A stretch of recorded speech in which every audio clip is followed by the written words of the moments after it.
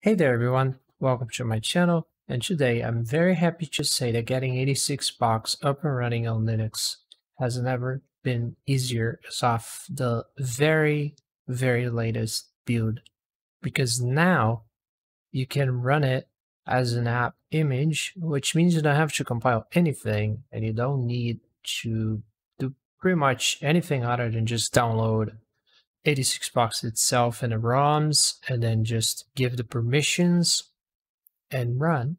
So you don't actually have to compile anymore.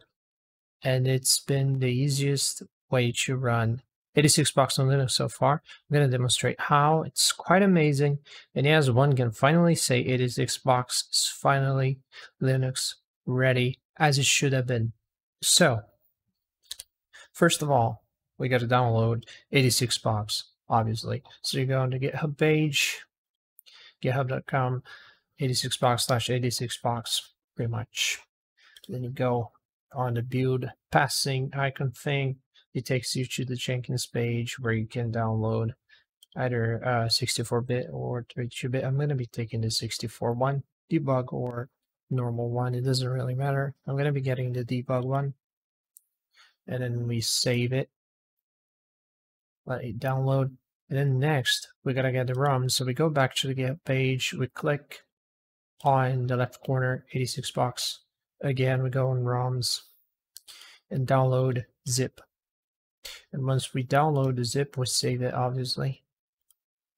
And once it's done, we, first of all, we gotta extract this folder somewhere. I'm gonna use documents as, there we go. That's, that's better.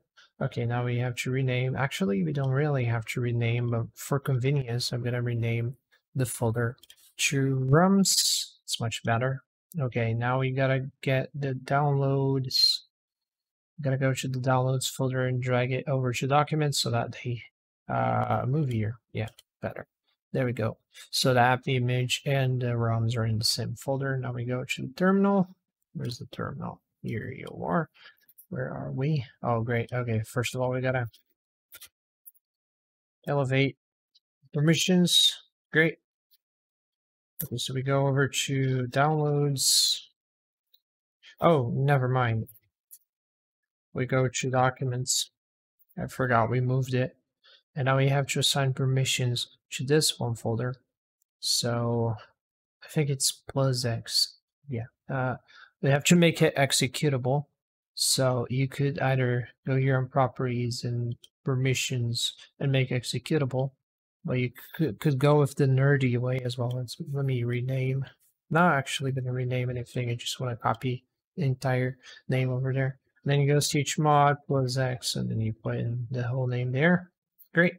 And now it's important. It's important part because it has a little issue where you have to point where the ROMs folder is at otherwise it won't work. So you're gonna go and uh, first of all, obviously, as we're gonna be ex executing it, you put that in, and then um, you gotta put uh, R right there, and uh, the folder name ROMs. That should be about it. That's all you need to run 86box, and then you hit enter, and it should run just like that. It's going to open up, uh, it's going to boot at the very default 8088. Obviously, you can change the settings as you wish. And that's pretty much all you need to do. Look at that, 86box running on Linux as easy as it can get.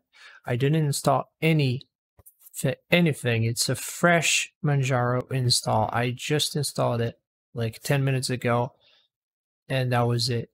It's fresh, brand new, and it just works. And then obviously you can go here and change everything. You have the, the whole Qt interface already working just fine.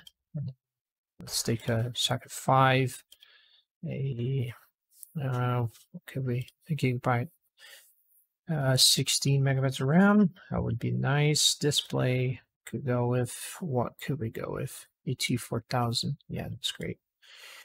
It's just for testing.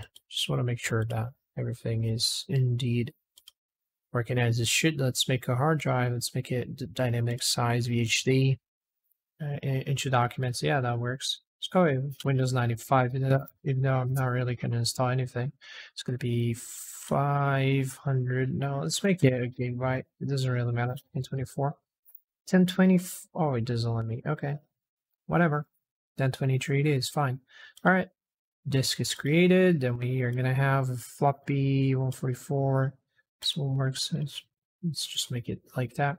And then a CD-ROM drive. Yeah, that, that, that should work and then we hit OK. And yeah, that'll show this message again. It's going to reset. Now look at that. There we go. 86Box. Running on Linux natively as God intended. This is great. This is huge for emulation, actually. People have been waiting for this for so long. This is like the greatest thing to happen to the emulation scene in 2022 for sure. Then we save. Yeah, there we go. As you can see, working just fine. So that's pretty much how you get 86 box running on Linux. Obviously, disk boot failure because we don't have a bootable floppy or bootable CD for that matter. As you can see, it's working as as it should. Just perfect. No issues whatsoever. As you can tell, it's pretty simple. Doesn't really demand that much technical know-how or anything. It's as simple as it gets. If you guys have any questions, comment sections right down below. Once again, feedback's much appreciated. So if you guys have anything, just say, don't be shy. It's it's really, really appreciated. I really like it. So yeah, take care, stay safe. I'll see you guys in the next video. Hopefully soon. Um